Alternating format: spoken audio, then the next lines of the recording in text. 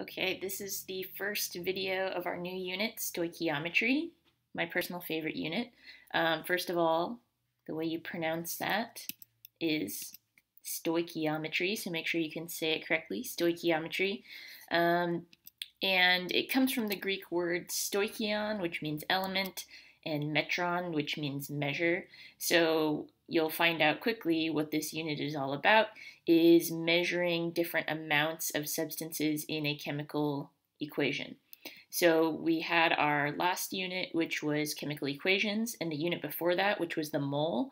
This unit kind of combines those two things, and we're going to be um, looking at quantitative relationships. So we'll do, be doing calculations using chemical formulas that are in a balanced chemical equation. So we'll be relating two substances that are connected via a chemical equation. All right, so it'll make more sense as we go through the steps, but it will require lots of calculations and it will require you to use chemical equations, balanced chemical equations. Um, the main piece of new information in today's notes and in this unit is what's called the mole ratio. Um, and that's the ratio between the amount of moles of two substances that are related in a chemical equation. And it has to be balanced, and uh, the two substances have, have to be in the same chemical equation uh, for us to relate them. There are other ways if we had, you know, a series of reactions, we could relate them that way. Um, but here, we're just going to be looking at one chemical equation and then relating them with what's called a mole ratio. So to give you an example of this, and this is the only new idea we're talking about today, everything else will kind of be review from the mole. Uh, but the mole ratio here, if we have a chemical equation like this, this is a balanced chemical equation showing the decomposition of water. So water breaks down to form hydrogen gas and oxygen gas, and then to balance it, we needed to put a coefficient of 2 in front of the water and a coefficient of 2 in front of the hydrogen. Okay. From this one chemical equation, we can derive a number of mole ratios, and that's just relating one substance to another.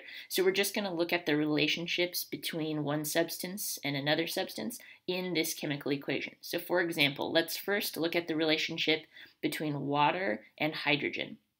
Okay, so uh, water has two moles in the balanced chemical equation, and hydrogen also has two moles in the balanced chemical equation. So the mole ratio between water and hydrogen would be a 2 to 2 ratio. So notice that the numbers for our mole ratios come from the coefficients in the balanced chemical equation. Right? So that's one mole ratio that we can derive from this equation, and there's others we can, right? So if we look at the relationship between water and oxygen, it's a different ratio. So water has a coefficient of 2, so that's how we get the 2 here. Um, oxygen, though, has no coefficient, which we know in chemistry it means there's invisible 1 there, so we would put 1 in the mole ratio.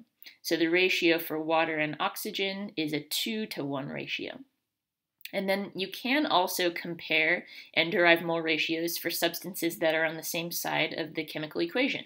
So even though hydrogen and oxygen are both products, we can still derive a mole ratio. They're going to be produced in different um, in a different ratio. So we would say that there are two moles of hydrogen being produced for every one mole of oxygen. Okay, and the way that this chemical equation works uh, is always going to follow this ratio.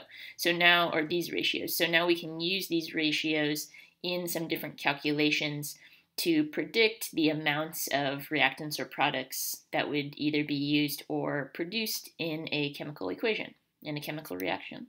So this is the main new idea. So this is something you really want to understand how we can use these coefficients to derive these ratios here. All right, so we're going to use those to do some stoichiometric calculations. Um, this is a slide that I usually turn this little flowchart into a handout, just a little strip of paper, like a bookmark. Um, so copy it down in your notes, or if you want to put it on a separate piece of paper and have it handy all the time, just like a little strip of paper, it might be useful for you. But you need to have it in your notes. It's a nice visual for you to see the steps required to do these different types of calculations. Um, and we're going to practice using this today. Um, so what it's showing you is it has on the left side it has x's, so mass of x and mole of x, and on the right side we have mole of y and mass of y. So x and y can re represent any two substances that are in your balanced chemical equation. It doesn't matter. And you can move in any direction. You see the arrows go both ways. So whatever you're comfortable with, I tend to work from left to right. So that's how I'll do it in this uh, video, but you can go from right to left as well, and it'll work just the same. All right, so what this says is in order to get from mass of X to mole of X, you actually already know how to do that. You just need to use the molar mass from the periodic table, right? That's something we learned in the mole. To convert from mass to moles or vice versa, we would use the molar mass as our conversion factor. Notice it's the same thing over here when you're doing mole and mass of Y, you use the molar mass from the periodic table. So again, that's something you already knew. The only new thing on this little flowchart is right in the middle, which we just talked about in the last slide. Mole of x to mole of y. If you're going to switch between those two, that's when you would use the mole ratio from the balanced chemical equation, which we just looked at in the previous slide. Um, so I know it's going to seem weird for me to say this, but this slide right here, this tiny little flowchart, pretty much the entire stoichiometry unit is right here. This is all we're going to be doing for the entire unit over and over and over again in different ways. Um, and you'll see that today, you'll see that in the next couple weeks of notes as well. Um, one really big thing to remember though in yellow here, you have to have a balanced chemical equation to do any stoichiometry problem. So in this unit for homework assignments and quizzes, the first thing you should do is ask yourself if you have a balanced chemical equation. If you do not, you need to write that because it's something you're going to need to do these calculations. All right, the reason we kind of have to go this weird route here, you might think, well, can't we just convert mass of x to mass of y?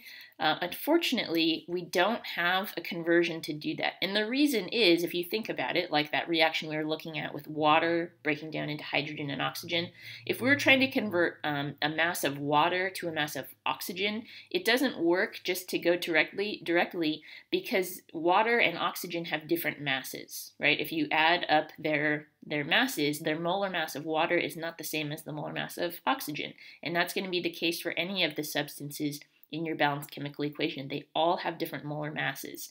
So the only way that you can relate them to each other is through the mole ratio in the balanced chemical equation. The balanced chemical equation gives you a relationship between the two substances. So in order to use that mole ratio, you need to convert the substances to moles. So let's say if we were starting with a mass of water here, we would first need to convert that mass of water to moles right? And then we could relate the moles of water to moles of oxygen, and then we could convert the moles of oxygen back to a mass to calculate the mass of oxygen, for example, that was produced in the reaction. So it does seem a little bit roundabout, um, but that's what we have to do to do these stoichiometric calculations. But I think you'll see that it's uh, they're all kind of the same. So once you get used to the process, you'll be able to apply that to any problem. So we're going to go through a few of the different types. These are all of the different variations that you would see of this uh, these conversions. You'll just have different um, equations to work with, but the process will be the same. So we're going to go over the four types of conversions that could be possible from that um, flowchart. The first one we'll do is the easiest. It would just be a mole-to-mole conversion. So this is an example that you might see on your homework where it gives you an amount in moles of one of the substances and it's asking you to convert to moles of a different substance. All right, so you didn't know how to do this previously. So let's look back at our little flowchart here. So in our problem, we're given a mole amount of one substance and we're being asked to convert to a mole amount of a different substance. So you can see here the way we'll use the flowchart for this problem is just to go from mole of x to mole of y. It's only going to require one step and that step is the mole ratio from the balanced chemical equation. The rest of the calculation is just going to be dimensional analysis. So that's why we spent so much time. This unit is all dimensional analysis. One other thing to remember too is that we have to have a balanced chemical equation to do any problem. So before we start this, right, we know we're going to need a mole ratio. The only way we know the mole ratio is if we have a balanced chemical equation. So there it is, and that's what you'll want to do first before you start any problem. So we're going to start with the number that we're given here, 5.49 moles of oxygen. And remember, in order to convert to moles of water, we just need one step, and that one step is the mole ratio. So thinking about dimensional analysis, I have moles of O2 here. So in my conversion factor, I want to put it on the bottom because I want it to cancel out. And then I'm going to put moles of water on top because that's the unit I want. The way you get the numbers is from the balanced chemical equation. So I'm going to put that there.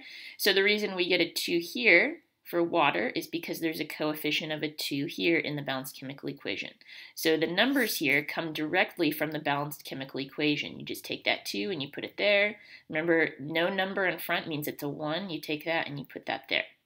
The way we set this up, again, dimensional analysis told us moles of O2 is here, so we should put it in the bottom.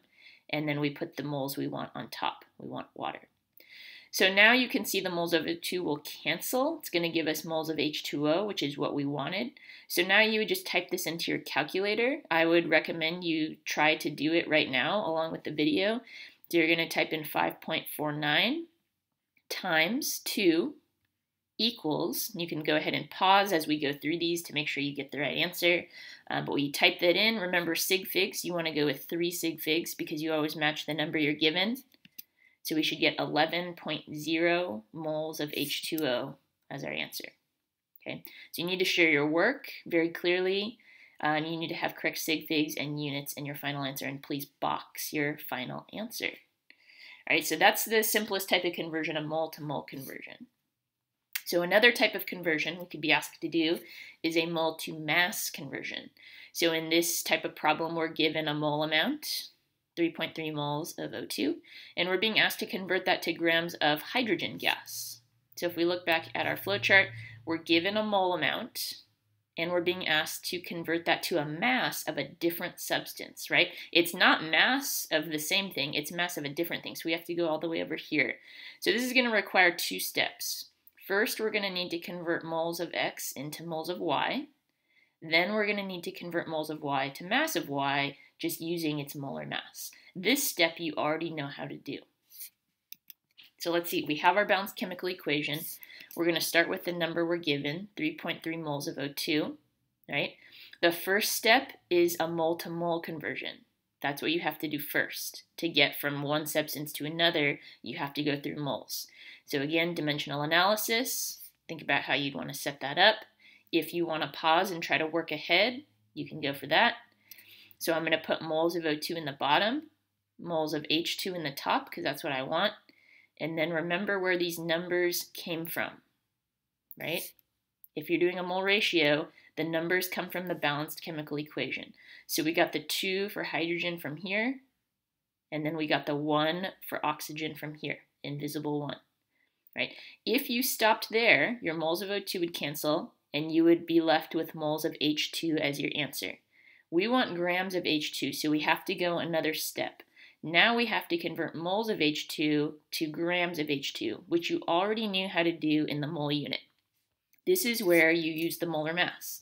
So we'll put, again, following our dimensional analysis rules, we'll put our moles of H2 in the bottom to cancel out that. And then we uh, use our periodic table to calculate the molar mass of H2 using its formula here. So 2 times the mass of H on your periodic table is 1.01. So that's going to give you a molar mass of 2.02.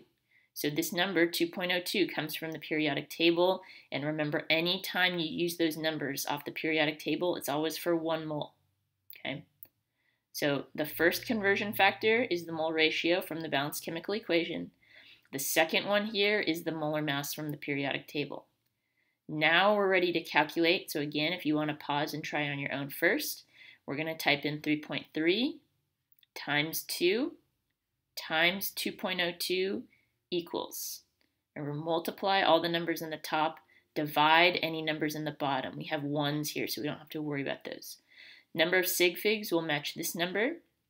So you'll end up with two sig figs, and you should get 13 grams of hydrogen as your final answer. Two sig figs. All right, so that's a mole to mass. Another variation you could see is mass to mole, which is the opposite of what we just did. All right, so this one will be very similar, but in this case, we're given mass of water, in this case, 36 grams of water, and we're being asked to convert to moles of hydrogen. So let's take a look at our flow chart. This time we're starting with mass of one substance, and we're being asked to convert it to moles of a different substance. Right? We're not being asked to convert it to moles of the same thing. That would be really easy. We're being asked to convert it to moles of something else. So it's going to require two steps again. And like I said, this is the opposite of what we just did. So first, we'll start with our 36 grams of water, right? And in order to convert it to something else, remember we're going to need the mole ratio. So we first want to convert this to moles so that we can then compare it to hydrogen. So the first step is going to be converting the grams of H2O into moles of H2O. And remember, we do that using the periodic table. So I'm going to put grams of H2O in the denominator so that it cancels out. Put moles of H2O on the top so that I can use that later. Um, and the way I get the 18.02 is from the periodic table. That's the molar mass of H2O. So 2 times hydrogen plus oxygen gives you 18.02 grams. Anytime you use those numbers off the periodic table, it's going to be 1 mole. So if you stopped here, you'd have moles of H2O.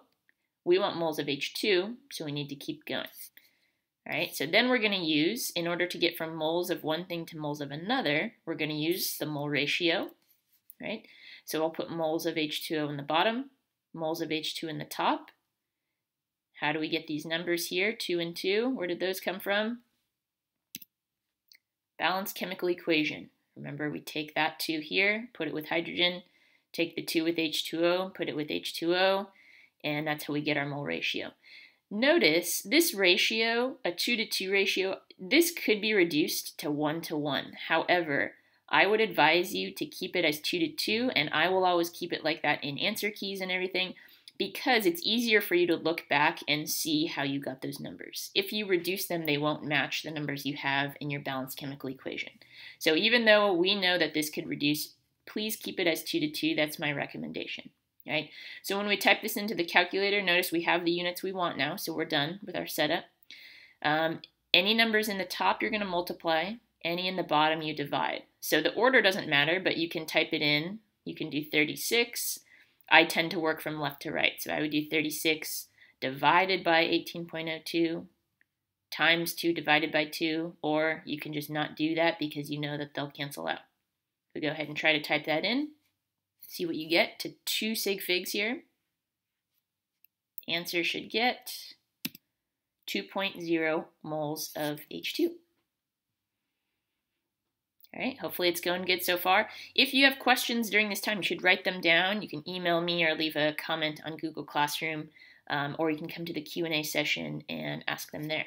All right, we have one more type of problem to go through, the big one, a mass to mass problem. So here we're given a mass of hydrogen, and we are asked to solve for a mass of water. Okay, so to do this, let's go back to our flow chart. We're given a mass of one substance. We're trying to solve for the mass of another substance. We're going to go all the way over here. So this is going to take three steps. We're going to need three conversions. Okay. First, we need to convert from mass to mole using the molar mass. Then we use our mole ratio to convert to the different substance. Then we convert mole to mass again using the new molar mass for the new substance. All right, so we're going to start with our 10.0 grams of H2. First, we want to convert that to moles. So we'll use its molar mass from the periodic table. So the 2.02 came from the periodic table. Then we'll do the mole ratio, right? So moles of H2 goes down here. We want uh, water, so we'll put moles of water here. Mole ratio is 2 to 2. Those numbers came from the balanced chemical equation. Right? If we stopped here, we would have moles of water, which we've already done that type of problem. This time we're being asked to go all the way to mass of water. So we need one more conversion, converting this moles of water to mass of water, grams of water. So we're going to put moles of H2O in the denominator of the next one.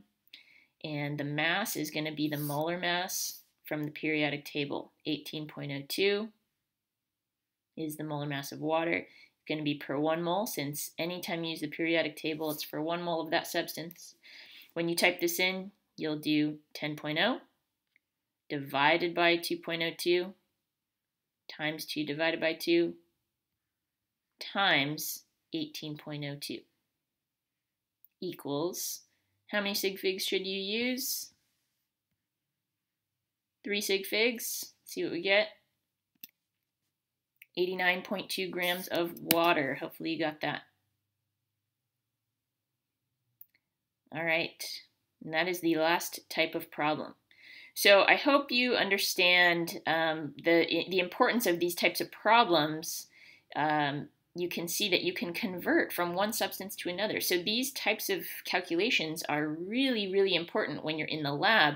For example, if you want to know, you know, let's say you want to produce um, a certain amount, like this problem. Let's say we want 10 grams of hydrogen okay? We need to produce that much. So this type of calculation tells you how much water you need to start with in your reaction to get the amount of hydrogen that you want, right? So if we wanted to make 10 grams of hydrogen, we do this calculation and then we say, okay, we need to use at least 89.2 grams of water to begin with to get this amount of hydrogen.